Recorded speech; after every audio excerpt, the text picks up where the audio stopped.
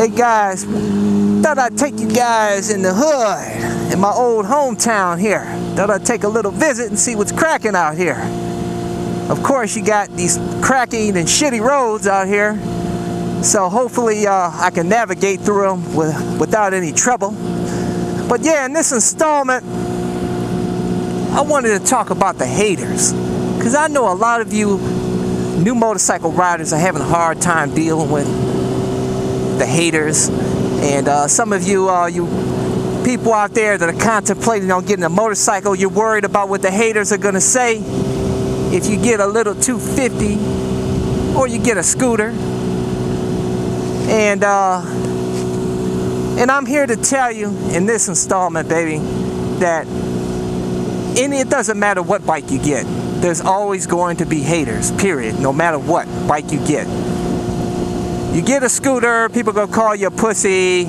You get a 250, they call you a pussy. You get a 600, they call you a pussy. And you get a, a liter bike, and then they call you a douchebag. Uh, you get a ZX14R, you're a poser, you're a douchebag, you think you're badass. You get a Harley, you're a, what? An asshole, uh, tough guy, think you're tough, think you're cool. It doesn't matter what bike you get, man. There's people gonna talk shit.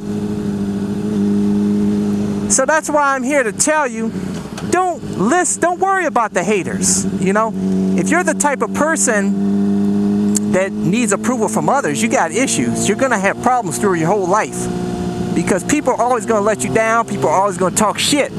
No matter how how good looking you are, no matter how rich you are, no matter how successful you are, actually even the more successful you are, the more haters you'll get.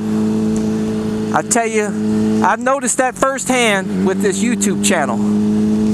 It's gotten a lot popular, a lot more popular now. I have over what 6,000 subscribers, over a million views. Thanks to all you guys, by the way. I appreciate your subscription and your watching my videos. But yeah, it amped up the haters, the trolls. So, and that's all good because you know, like they say, opinions are like assholes. Everybody has one, you know, and, and there's always going to be haters. Always. And uh, so I'm here to tell you you want to get in, you want to get a motorcycle, start on the 250 and don't worry about the haters. Don't worry about people calling you a pussy because you're riding a 250. You're, in my opinion, you are smart. You are a wise rider because you are trying to gain skill and you're not worried about the way people perceive you. And you shouldn't because it's all about you and the riding experience, you know. Who gives a shit what people think, you know? And and the purpose of a 250 is not I mean for you to don't worry about getting bored on the bike. I mean, I just that's the most stupid excuse that I hear from a lot of people that say they don't want to start on a 250 because they'll get bored fast. The point is you're trying to gain skill, dummy. You know, you're trying to stay safe. A lot of you, uh, uh, people that are brand new to, have never been on a motorcycle, moped, scooter, or anything, they have no idea how to control the throttle. So for you guys saying, oh, just control the throttle, you'll be fine, be smart with the throttle, these people don't know anything about a damn throttle, dickheads. You know, that's why I think I really am gonna start deleting comments when people keep saying, telling other, telling uh, newbies to start on a 600 because it's this shit'll get you killed, man. It's no joke. And just because a lot of you guys started on a 600 and haven't crashed or killed yourself, that doesn't mean you have the skill to ride it. Shit, anybody can ride in a straight line. I'm sure anybody, probably my grandmother, can ride a ZX14R in a straight line. You know?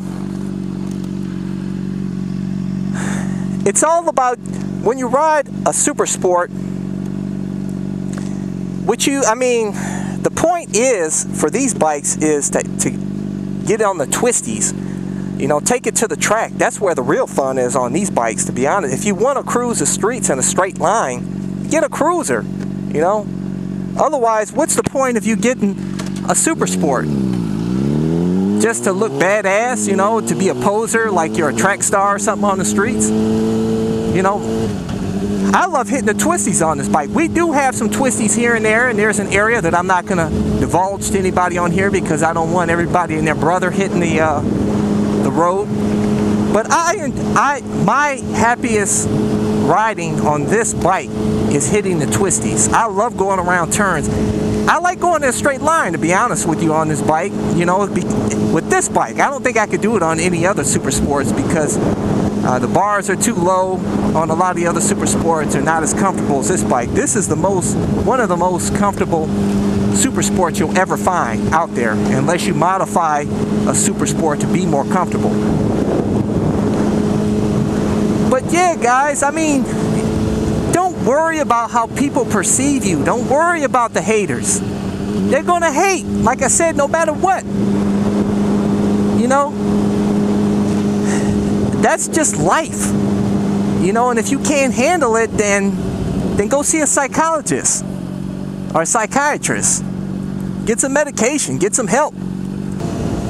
But yeah, guys, you guys need to build a stronger mind. You guys need to be be tough out there. I mean, riding a motorcycle here on the street is not for for little punks or little wimps that can't take what haters say to them. You know?